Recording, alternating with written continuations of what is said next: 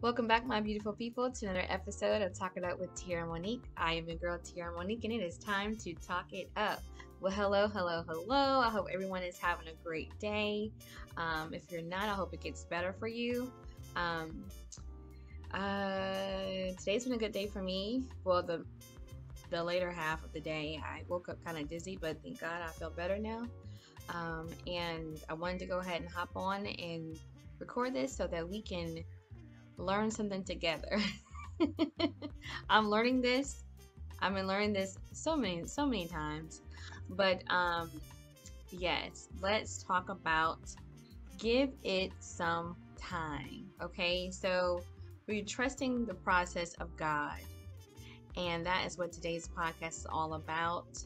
Um, I have a couple of points that I want to go ahead and point out to you, but first, I want to pray. So, God, we thank you for this podcast. We thank you for the people who are listening, and we ask you, God, that you will bless them and meet their needs, and whatever they need uh, will come to them. And in Jesus' name, amen. All right, so let's go ahead and get into this. So, first, let's do story time. I haven't done story time in a very long time.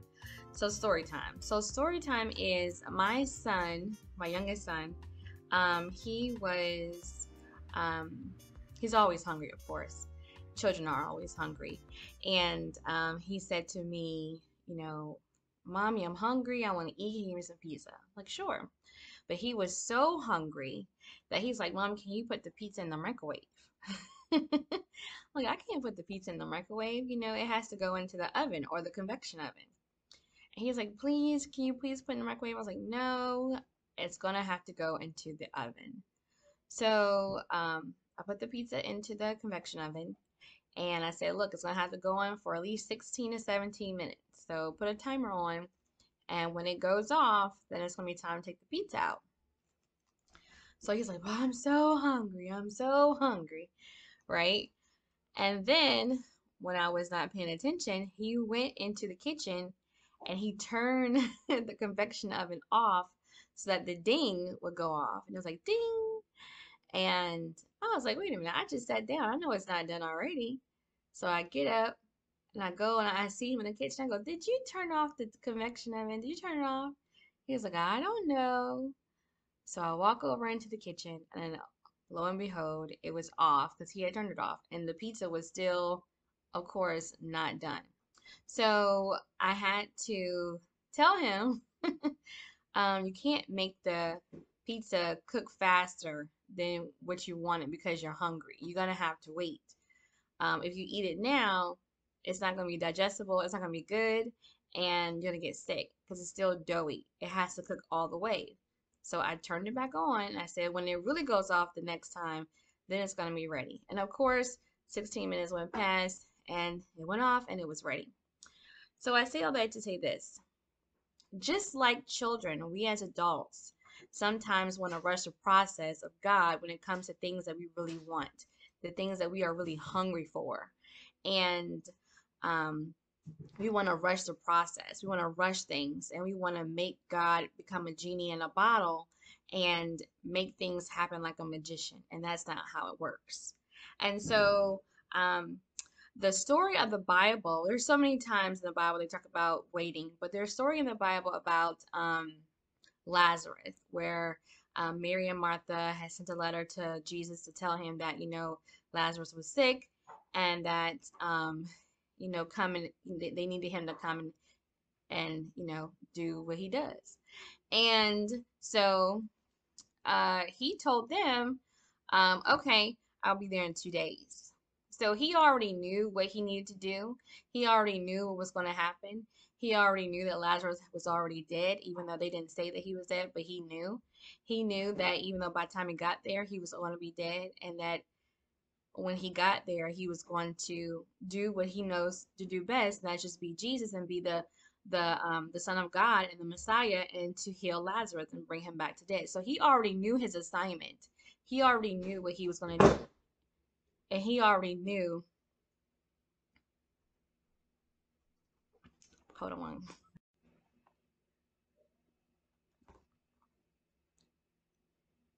All right, I'm back. See, there's my son again. He's He couldn't wait. He, got, he couldn't wait. Um, but God already had an assignment. He already knew what his assignment was. He already knew what the um, the result was going to be and what the end was going to be. And so um, he didn't need to hurry up. He said, "Give me two days." He it didn't say what he was doing in those two days. It didn't say what he had to uh, clear up or what he was doing. But he said, "Okay, I'll be there in two days," because he knew that Lazarus was already dead, and it wasn't going to make him be less dead um, by him hurrying up. And I wrote down here, just like Jesus had Mary and Martha wait, um, it's the same way that God allows us to wait, or He tells us that we have to wait. And um, just because God loves you, because you know Jesus loved um, Mary and Martha, He lo- He loved them dearly. But just because Jesus loves us does not mean that He's going to make things happen as soon as you say it. He's going to make you wait um, your his love for you is not different than his love for anybody else. So just like other people have to wait, you're gonna have to wait. And so um, he's not gonna act on your command. So just remember that. You know, you're gonna have to wait. So what are the things are we that we are waiting on? Okay, there's many things that we're all waiting on. Um, we're waiting on healing, you know, we're waiting on a promotion, we're waiting on um, to be engaged or in a committed relationship to be to get married um, we're waiting for um, uh, to be to break addictions whether it's addiction of drugs or sex or shopping or gossiping um, any kind of addiction um, we're waiting on a new job opportunity or a new school opportunity to get into school we may be waiting on to get pregnant. You may be a couple who who it who has been praying very long time to get pregnant, and um, you may be waiting on a new car. You need a new car. You need a new home. You may be waiting for God to give you um, new direction on what to do in this time of your life.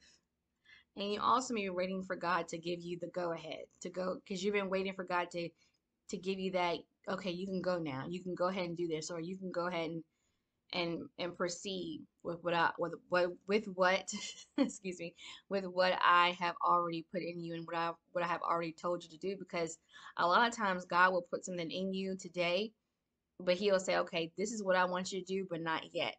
And he will tell you okay just just wait a little bit. Trust the process. I got this all under control but just wait. So those are the things that we are waiting for. Oh increase in pay. I think I said I don't know if I said that or if you're a podcaster or you're into radio, whatever you're waiting, you're waiting for um, that to be monetized or sponsorships. You're waiting for that book to be published. You're waiting for that idea to come to pass. There are a lot of things that we are waiting on. But if you know, like I know, and if you don't know, I'm going to tell you time is essential for all good things to result in good things. that may not make sense, but hear me out. So, time is essential for the process to create a quality product. If you do, if you want something of quality, if you want um, real healing and not fake healing, if you want um, the promotion that's going to continue to keep you at home with your family or, or not stress you out or not have you losing sleep, you know if you want the right relationship of good quality just not anybody if you um you want the right marriage if you want to know the process of how to you know break free of those addictions if you you know the want the right the right job opportunity the right school um opportunity if you want the the necessary tools and um, knowledge of the right way to um to conceive a child um or maybe you may have to do it through adoption um, the right car, the right home, you know, everything that is offered to you may not be from God. So you want to make sure you are choosing God quality products, if you will. You want it to be, you want the product, the process, you want to go through the process so that the process will then will then yield a result of God quality, a God quality results. That is what you want to focus on. I want God quality results. I want whatever I'm waiting on not to be something that I'm making happen, but I am really trusting God that He is going to make it happen for me and He's going to make it happen in the way that it's going to benefit me and give Him the glory at the same time. Because sometimes blessings happen, and those are blessings that we have made happen for ourselves because we've been impatient on waiting.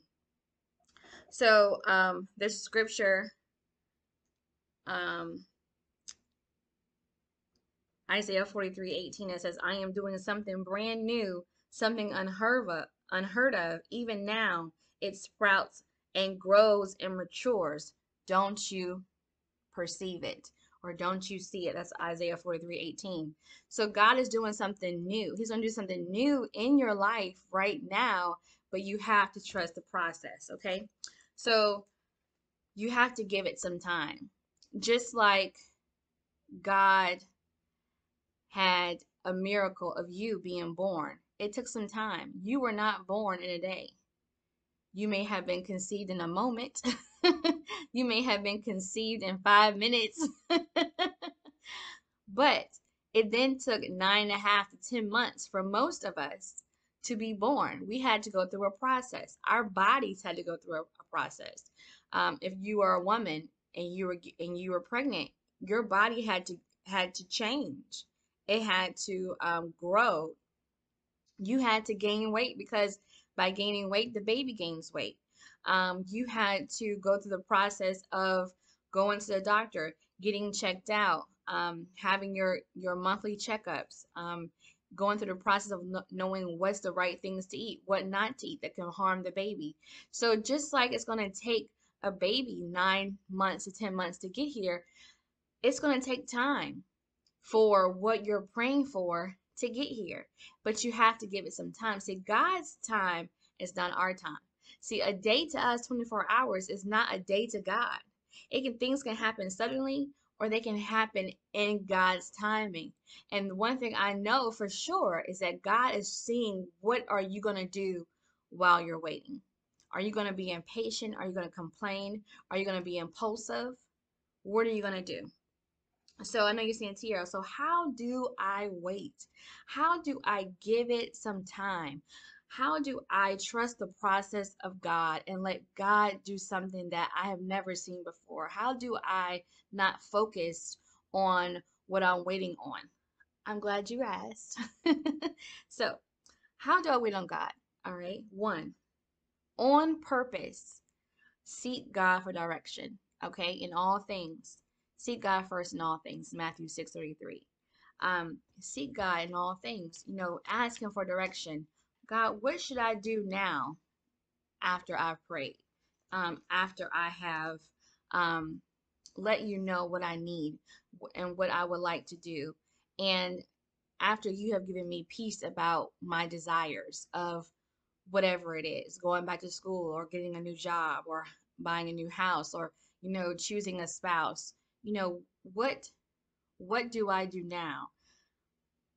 Ask God for direction. You know, it says, do not be anxious about anything, but in everything and in every situation, by prayer and petition, you know, with thanksgiving, make your request known to God. So after you've done that, then you ask God for direction. Okay? All right. So also recognize that time is needed to build the blessing. Okay, and I went over that a little bit before. Time is needed to build the blessing. Just like time is needed for you to bake the cake, time is needed to have the baby, time is needed to make the pizza, time is needed to build the blessing. Once you make your request known to God, God said, Okay, I got it right there. He's already got it. Okay, all right, I got your house right there. I got the car right there. I got the job right there. I have your healing right now. But I need something from you. So it's not like God is trying to, you know, play with you and he's holding like this. He's like a, a fisherman holding a bait, you know, for you to grab onto it. Or he's like, um, or you're some kind of uh, cat and he's playing cat and mouse with you or um, swinging something over your face saying, oh, look, look, here it is. Here it is. Are you going to grab it? Are you going to grab it? He's not saying that. He's saying, okay, do you trust me that even though you may want it right now, you're not ready for it? Let me show you what else I need you to do before you get what you want. Let me show you what I need you to do before you get an increase in pay. Because you're not being a great steward over the money that you have right now coming in. What are you going to do with the money that I bless you with in the next coming months um, or in the next week or tomorrow? Are you going to be good at taking care of that money? Are you going to be good at not blowing it blowing it on everything and anything that you think that you can afford? Are you going to do your due diligence and um, be financially stable and, and, and mature and do what I need you to do with the money so that you can continue to to increase your wealth and, and increase your legacy in your family and your children. Because what we do as parents our children see it. So we have to pass down good habits to our children and to the people around us. Um, everybody was is not financial literate. So maybe god is trying to say okay i need you to you know research this and watch this youtube or you know um, buy this book and i need you to do your due diligence and get the information on how and what you can do to um, increase your portfolio or to become um, better with having a budget so god wants you to prepare he wants you to prepare, and he he may be trying to give you um, the necessary tools and the wisdom that you need to be ready for it. Okay. All right. So recognize that time is important. Time is important, and the time that you're um that you're not utilizing and not maximizing it's also important. So if you're gonna waste your time just waiting on God. Oh, girl, I'm just waiting on Lord. I'm just waiting on God to give my man. I'm just waiting on God for this house. I'm just waiting on. Well, what are you doing? Again, preparation. Preparation can is is the cousin. it's the to to waiting. You know, it's necessary. You can't just sit and wait. You know, faith without works is dead. What are you doing? You may be believing for this.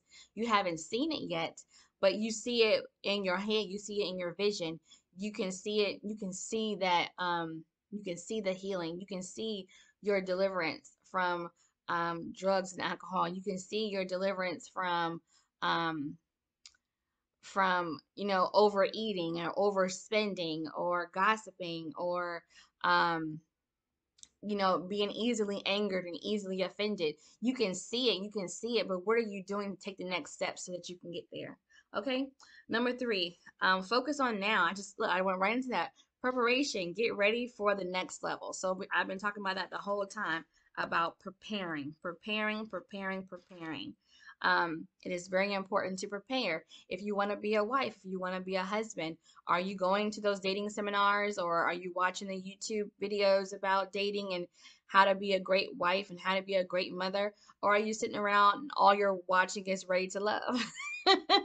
which is nothing wrong with watching Ready to Love. I watch that show too, and you can learn a lot from it. But what else are you watching? What else are you feeding into your into your spirit, into your soul that's going to help you when um your husband or your wife shows up? What are you doing? You want a house, okay?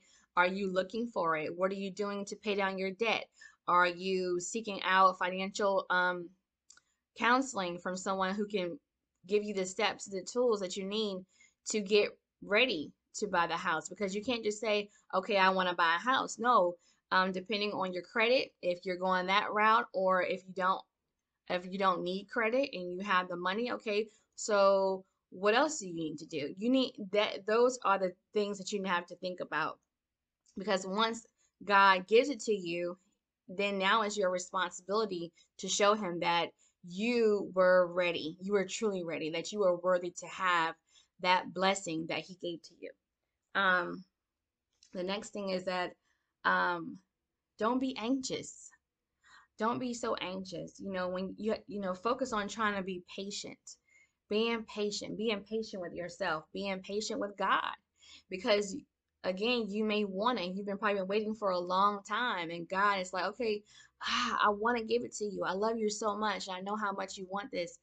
I know how much you may need this, but ah, I just I just need you to be a little bit more patient. I need you to not only be patient with with me, but be patient with yourself. Be patient with the people around you. How are you treating those people around you while you're waiting? Are you being snippy and snappy and you know your face is all wounded up? They're like, girl, wrong? She's like, oh, I just can't wait to get off this job.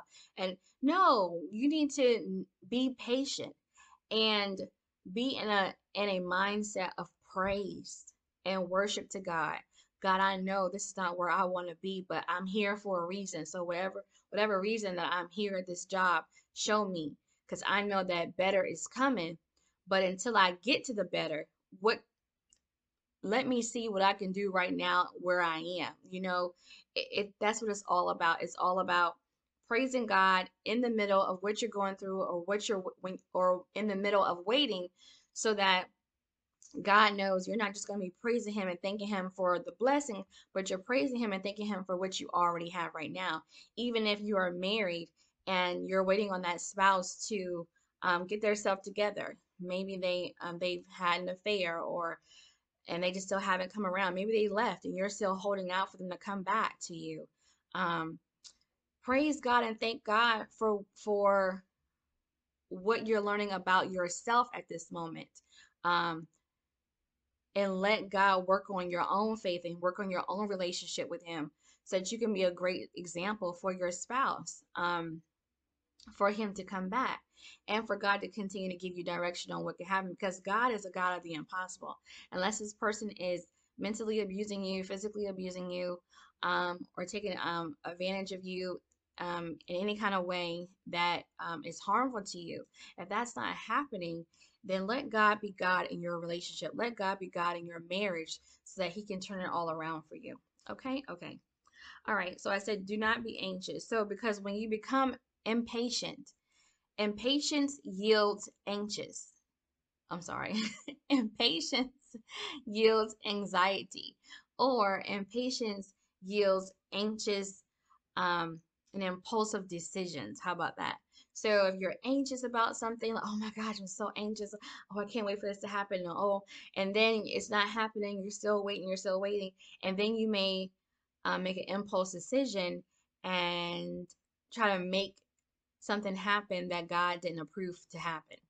And that's when I said that it can be a um, man-made blessing. You know how there's man-made lakes and or man-made ponds and man-made communities and we sometimes have man made blessings. Well, where we will create a blessing because we're tired of waiting. We get tired of waiting. We get fed up with waiting. So we'll create a blessing. And it looks so pretty. And it's like, oh, everybody's like, oh my gosh, I can't, oh, that's so, you look so, blah, blah, blah. And, you know, and you're getting all this. But God's like, I didn't even co sign that. I didn't co sign that guy for you. I didn't co-sign that woman for you. I didn't co-sign that house for you. I didn't co-sign that car for you. I didn't co-sign that job for you. Okay. I didn't co-sign that travel. You know, went and took out credit cards so that you could go on a all expense paid exclusive um, trip because you're seeing everybody else going on trips and you don't even know how they're paying for their trip, but you're like, I'm gonna go ahead and take out this credit card and pay for this trip, and now you're in further debt because you want to go on a trip that you're not financially ready to go on a trip for. And you don't know what God could have did to get you on that trip. He could have had it so that somebody else paid for your trip. He could have had it so that you got a free trip. You just don't know. He could have had it where you got a huge discount on the trip, or you could have got better um, a hotel, or um, you just don't know. But because, but when we jump out in front of God, we we basically cancel out all the extra benefits that would have came would have come with the blessing. But we, when we try to make our own blessings, then we don't even get the extra added benefits that God had already um, put into the blessing that we're waiting on. So it's like, don't be so anxious and so impatient that you make impulsive decisions that would then you, you're going to have to um, suffer the consequences and start all over again with the waiting. I don't know if you ever I remember growing up, they're like, don't cut the line, don't cut the line. And you're in school and the teacher's like don't don't jump the line and as soon as you try to jump the line and somebody and then the teacher finds out what does she do she have you go all the way back to the back of the line so now you have to wait longer because you were being impatient because by trying to jump the line. And it's like, wait a minute, this is not where you're supposed to be. You're in the place that you're supposed to be in. And when it's time for you to be up at the front of the line, you're going to be up at the front of the line. But if you try to skip steps and skip the process and not go along with the process, then what's going to happen? Then you're going to have to go all the way back, all the way to the back of the line and start all over again with the process. Okay, there's a great book out by George L. Davis called Passing the Test of Life. And it is really good. And I have to keep reading that book over and over again because there is a time test that we all have to pass. And if we can't take the time, pun intended, if we can't take the time to recognize that God's timing is better than our timing, then we're going to keep having to take that same test over and over again and then, and then you're just wasting your life. You're wasting the time that you have on this earth that could be going towards something else that god has for you. But instead when you try to make it about you and try to push past god then you're wasting time and then you have to start all over again. Okay? Okay. All right. So what did i say?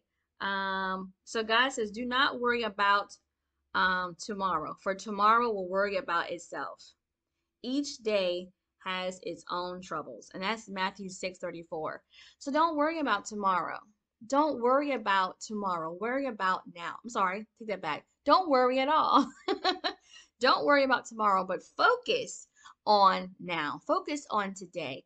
Don't think sit around thinking, "Oh, you know about tomorrow." And I and when I say that, and when the Bible states that, they're not saying that don't have a plan of course have a plan. You know, Habakkuk tells us, you know, write the vision and make it plain. So yes, you want to have a plan, but you don't want to worry about the plan. How about that? You don't okay, I wrote the plan down. Here it is. Here it is, God. Boom. Here's my vision for my life. God, if it lines up with what you have for me, if it's pleasing to you, boom, here it is. And then you let it go. And then every day you go to God, oh God, I thank you for this. I thank you that it's on the way. I know it's coming. And I'm waiting patient on you, God, and help me to wait patient on you. And you know, every day you have to commit to being patient and trusting God in the process and giving it some time. Giving things time. Give the people in your life time. Um, I don't know where this just came from, but give people, this is God probably, mostly, not probably, it is. Thank you, God. Give people time to forgive you. Just because you ask them for forgiveness and you apologize to them does not mean they have to automatically forgive you right now.